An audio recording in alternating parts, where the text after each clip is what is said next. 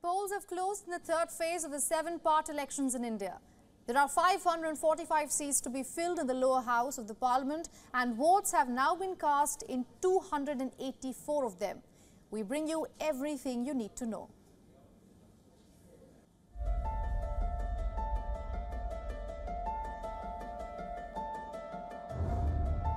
Three down, four to go. India has voted in the third phase of the world's biggest elections. 93 constituencies across 10 states went to polls. And many of those ballots featured prominent faces. Union Home Minister Amit Shah is seeking re-election from Gandhinagar in Gujarat.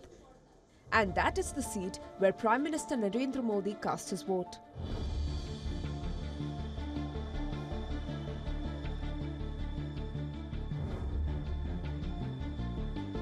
Another closely watched contest in this phase is that in the seat of Baramati in the western state of Maharashtra. A Pawar versus Pawar battle. Sitting Minister Supriya Sule is facing her sister-in-law Sunetra Pawar. 11 out of 48 seats went into polls in the third phase of Maharashtra. 258 candidates were in the fray and we saw 2.06 crore voters were eligible to cast their vote today. Among the 11, we saw key constituencies being Baramati on the top, uh, where we saw a high-stake battle between the Pawars. We are looking at the fight between the daughter and the daughter-in-law. This is the first time perhaps it has happened in Baramati since 1999. On the other side, another key constituency was Ratnagiri and Sindhudurg, where we saw Narayan Rane, the union minister who was earlier with Shiv Sena, was fighting for the very first time on a BJP ticket. So, of course, BJP is uh, campaigning very hard on the seats where Shiv Sena has been a bastion and this is one of the seats. So, the outcome of this also will be very significant and might change the political scenario, might change the political landscape in the months to come.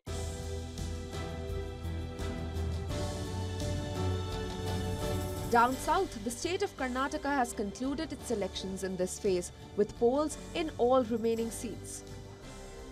Union Minister Prahlad Joshi is fighting from the Dharwar seat in a bid for a fifth consecutive term. The Lok Sabha polls in Karnataka in southern India have come to a close after the second set of 14 seats voted today. 10 days ago, it was the first set of 14 seats comprising southern part of Karnataka and the coastal belt of Karnataka. Today, it was a turn of central Karnataka and northern parts of Karnataka to vote. So, more than 4 crore people have voted and decided the fate of their candidates. More than 220 candidates. So, with Karnataka having been completed, there are three southern Indian states, major ones that have completed voting. First phase, it was Tamil Nadu, 39 seats. Second phase, Kerala, 20 seats, and now Karnataka, 28. What remains are the Telugu belt states of Andhra Pradesh and Telangana. Andhra Pradesh, very, very crucial given that there's simultaneous polls there for the Lok Sabha and also to determine Andhra Pradesh's next chief minister.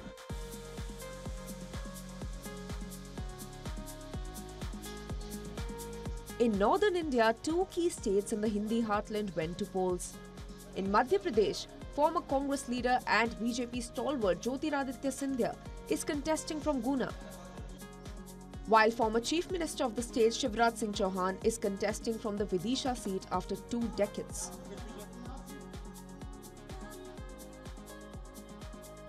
When it comes to Uttar Pradesh, there's a very interesting contest between the ruling Bharatiya Janata Party and the Samajwadi Party that is contesting elections in alliance with the India bloc. What will be interesting to see is if the Yadav family of the Samajwadi Party can claw back the stronghold that it once had in the region. Or will the BJP maintain its stronghold in terms of the Modi magic leading the way forward for the third time in a row? Voter turnout in the phases so far has been marginally lower than the corresponding phases five years ago. Bureau Report, WION World is One. Now to take this story further, senior journalist R.K. Upadhyay is joining us live from Bengaluru. Mr. Upadhyay, good to see you. What was your biggest takeaway from today's uh, third phase of India's election? Well, I think the biggest takeaway or a, a, bit of a disappointment is that the you know the percentage of voting is not going up. Right. I mean, in the, first two uh, uh, phases also we saw it was a very uh, lukewarm response, and uh, uh, everybody was hoping that at least the third phase it will pick up. Uh, unfortunately, it doesn't seem to be. Of course, we need to wait for the final figures, which the election commission will be able to release tomorrow or so.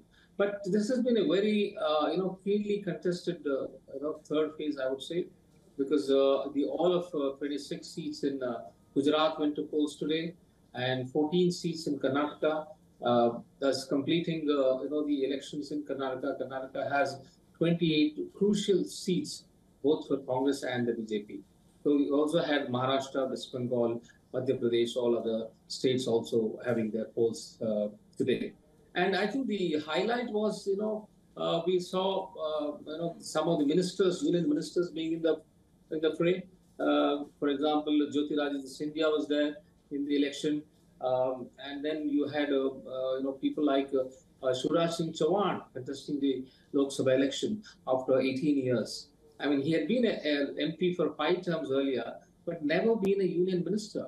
And, uh, you know, he was responsible for uh, the BJP doing well in Madhya Pradesh just about three, four months ago. And now he's being put up, you know, in the Lok Sabha, which means that I think the BJP has bigger plans for him.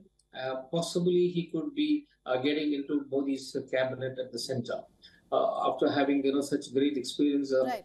being the chief minister for I think 16 years in Madhya Pradesh. So, but Maharashtra is very important and very interesting because there, you know, you never know how things are going this time because both the Shiv Sena and the NCP have split, and the two groups are in two different uh, uh, groupings, NDA and UPA. So, so uh, I don't know how the people would have reacted to this uh, situation because the Sharad Pawar family, which is at the center of this, uh, you know, controversial, uh, you know, split right. in the parties, you know, the siblings are fighting against each other.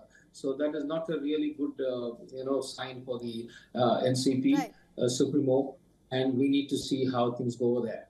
All right, Mr. Padia, thank you so much for getting us all those insights. For all the latest news, download the WION app and subscribe to our YouTube channel.